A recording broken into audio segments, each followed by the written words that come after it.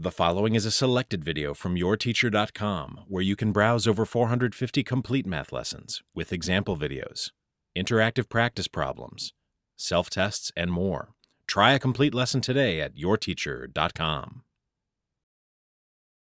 So let's say we're asked to find the slope of the line that passes through the points 5, 4, and 8, 6.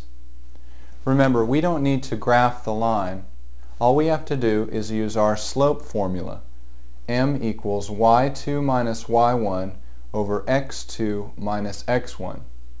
In other words, we take our second y minus our first y, which in this case is 6 minus 4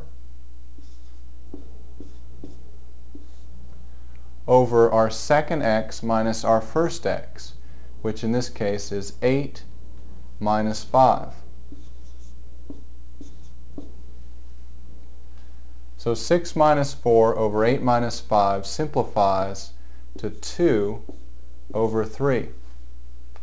So the slope of this line is 2 thirds.